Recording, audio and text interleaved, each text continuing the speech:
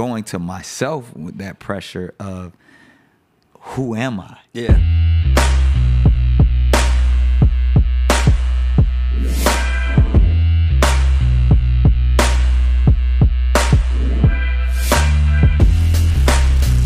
I got married in my 20s still, you know what I mean, to the biggest star in the world. And, and my trajectory was here, and then hers, she's already in a different yeah. stratosphere. So, you know, I would lay up at night thinking, like, is is this who I am? Am, Yeah. I, am I Mariah's man? Am Yeah. I, is that what my life is supposed to be? There's nothing wrong with it.